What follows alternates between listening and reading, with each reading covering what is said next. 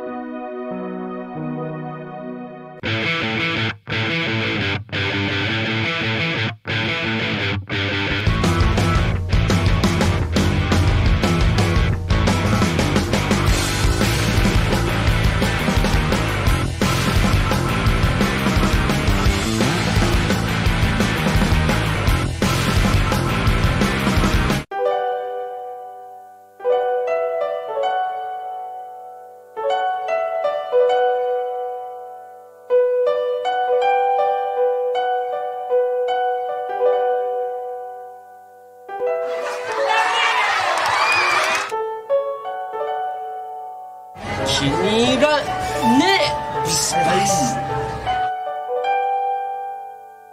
酔っ払ってます。